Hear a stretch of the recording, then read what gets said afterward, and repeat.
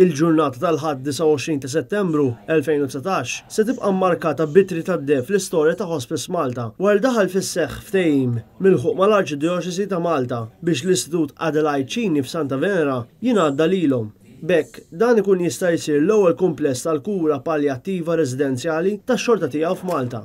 F'konferenza tal-aħbarijiet fl-Istitut, l-Arċisqof ta' Malta, Charles Scicluna, għadda formalment din il-binja għal perjodu ta' 50 sena f'ċerimonja simbolika fejn ġew preżentati l-imfietaħ tal-post liċ-Chairperson ta' Hospice Malta, Maria Gatt.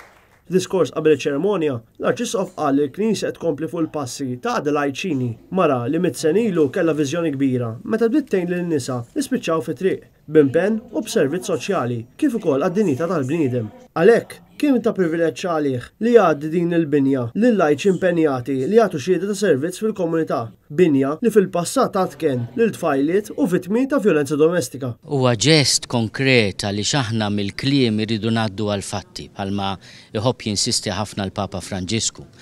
Meta ħabbar is-Sena tal-Ħniena xtaq li kull djoċesi tagħmel proġett li jkun ukoll sinjal konkret tal-ħniena.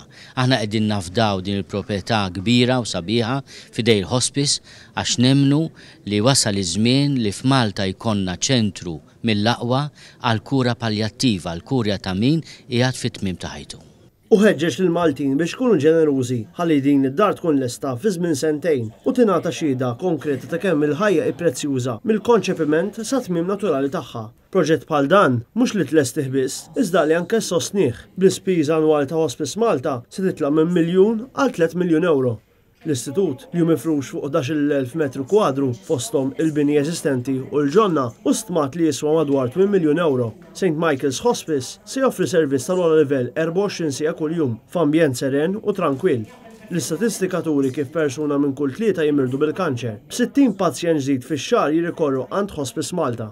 Is-servizzi attwali se jestendu fil-komunità għal 10,000 żjara, minn 700 għal 2,000 żjara, terapiji u servizzi ġodda ġewwa din il-binja.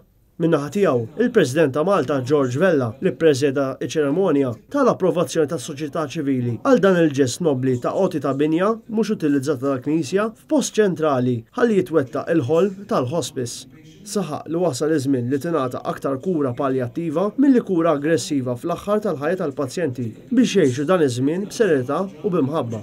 Preżenti wkoll kien hemm il-Kelliem tal-Oppożizzjoni għall-Esklużjoni Soċjali, Ivan Bartolo, u mart il-President, Miriam Vella, li hi patruna ta' Hospice Malta.